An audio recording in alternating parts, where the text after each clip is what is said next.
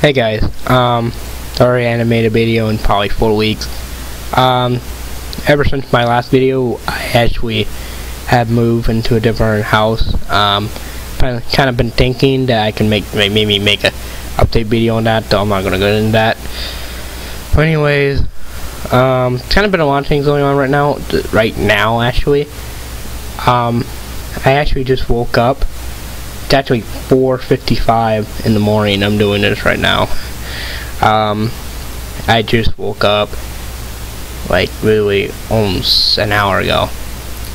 And I don't have my sound filter with me. I have my microphone. This is all because of the move and I don't know where my sound filter is. I recall I found it, but I'm not sure whatever happened to it. But right now, it seems like things are doing good. But anyways, um, yeah, um, Though right now I'm, I I really had nothing else to do. Actually cold outside, so I said, hey, screw it, I'm just gonna do a video. And did one a while, and I'm deciding to do a review on the movie Venom. Now, I saw this the other day. Um, this is actually a movie that's credited for being the first ever movie I've seen in theaters by myself. Um, my uncle, who's usually somebody who takes me to see these have movies and want to see it because he read reviews, bullcrap reviews online of this movie. I'm going to um, explain why they're bullcrap, but yeah, and he said not to go see it, but I want to see it, so we made an idea to have me sit alone in the theater. Yeah, watching it. Of course, I have someone alone. There's other people there, but anyways, yeah. Um. So this movie, um, pretty much what it's about is, uh, well, it's about this reporter. His name is uh, Eddie Brock. He's a pretty successful reporter and all, and pretty much um, one day he was interviewing this guy who owns this, uh, you know, this. He, he's actually like a successful inventor and stuff, but he owned this like organization called the Life Foundation, and yeah, and they pretty much um, they were working on these, you know, what is known as symbiotes that they got from this uh, space shuttle that they have that crashed in like some Asian country, but yeah, what it was, but yeah, um, most of them except for one actually escaped they weren't rare that the other one escaped. But anyways, um, but that particular one escaped. But yeah, and Brock, his life is good until that interview he was doing with that inventor, who pretty much actually led to him like he, he felt kind of the inventor felt violated because he wanted the interview closed, so he contacted his boss and he fired him. Now Brock has a, a fiance who pretty much rejects him because of uh, him losing a job. And pretty much we got to six months later, and he living in he pretty much living a poor life. Poor life. He lives in a very cheap apartment, got a little paid job, and yeah, it's, everything's crap for him. You know, went from very successful at being a reporter, and pretty much he lives like a homeless guy. Now, eventually, um, the people who work on these symbiotes, they just kind of kind go further into the research by this time.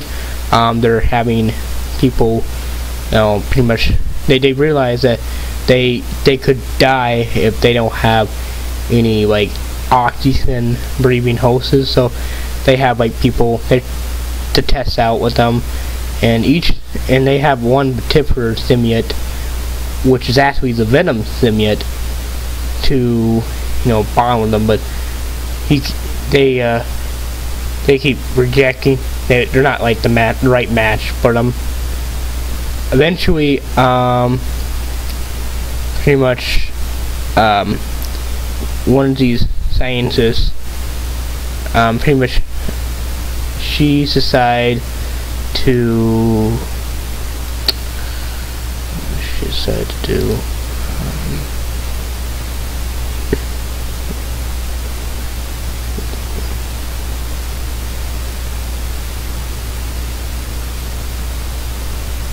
I really forgot what she wants to do.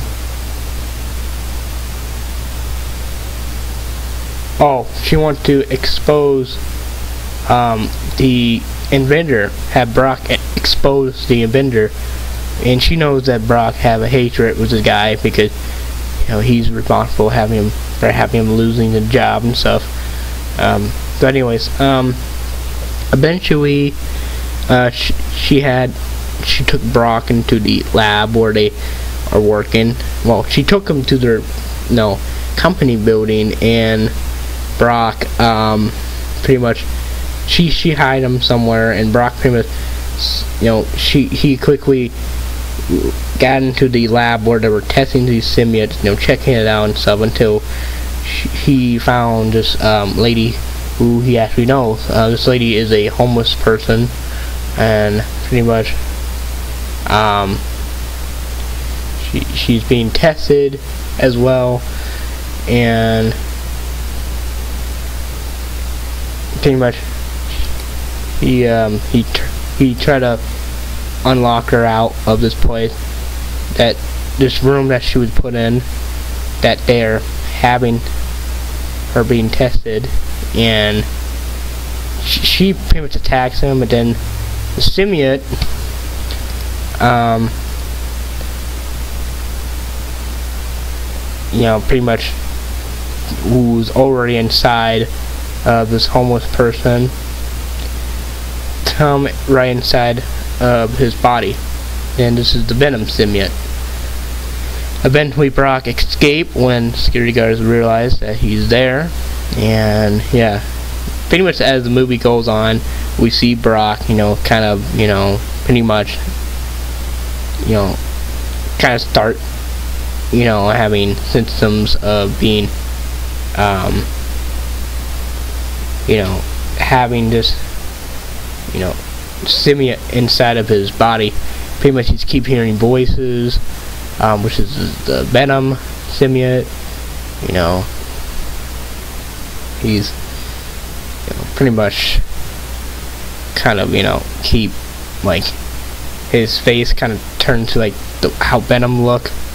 A certain thing, you know, kind of being sensitive to sound, like the symbiote always do and eventually he realized that um, the symbiote, who what the symbiote is, Venom, and Venom told him that pretty much he chooses him as the right host because he have a hatred towards the company, the vendor, as well as his company for having him lose everything that he had, and the symbiote pretty much, you know, have a hatred from for keeping him as a slave want to take, take him down and stuff. Now, um, and famous that their goal in the movie, try to stop them. And famous other symbiote that was um, escaped from the crash. Much, he it's it's the symbiote. That symbiote is named Riot, and he keep on you know it keep on like um pretty much protesting these people until it got into the um the inventor who wanted the symbiote back. So pretty he's kind of have more hatred for Brock for stealing the symbiote. And yeah, and pretty much eventually he came upon it, and pretty much the symbiote, no, no Venom, and he, the symbiote Riot, he's like the um, top of the symbiotes. Like he's more superior than Venom, like stronger. So yeah, he wants Venom back as much as the Avengers, though they kind of come with one too. And um, yeah, now that's how far I can go in this movie, pretty much. What I thought of it, um, I thought this movie, even though it got a lot of bad reviews, according what I see, um, I thought this wasn't even a bad movie. This was actually a pretty damn good film. I know it's not, it has certain parts of it, like, it's not really have anything to do with Spider-Man.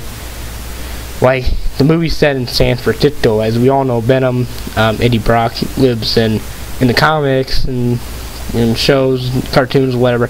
He lives in New York, but in this version, he lives in San Francisco.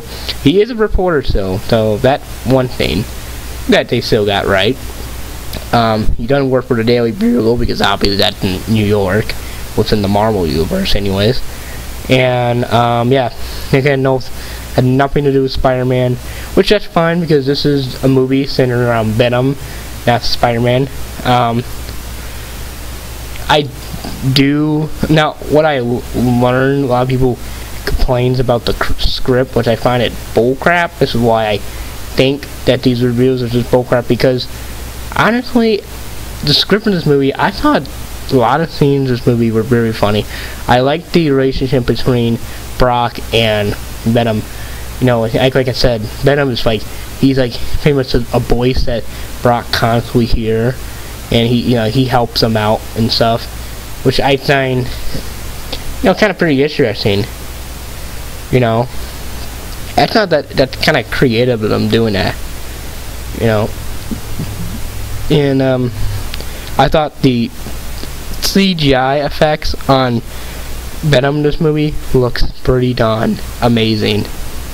Like, um, yeah, I thought that Tom Hardy, who actually played Bane from The Dark Knight Rises, who played Brock in this movie, did a good job. Um, but anyways, um, the fight between Venom and Riot was by the end I thought was pretty damn good, and um, yeah. Um, and I thought they still do good with the whole um, you know, fact that um, Brock, you know, losing everything. It's the same thing how Spider-Man would done to him. You know, they still have that right in this film. Really not much to say about this film. Um, still a good movie. I would recommend people seeing it. Um, directed by the same guy who did Zombieland, which is pretty darn good film, and uh, I thought he did a good job with this movie. So yeah, this is a pretty funny movie. Um, yeah, and I thought uh, it was it was it was kind of good on it. I thought it had a good take on the whole, you know, Eddie Brock and Venom relationship. But yeah, that's all I really need to say about this film. Um, I really enjoyed this. Um, hope you guys check it out at some point, and I promise to make more videos in the future. So yeah, avanos.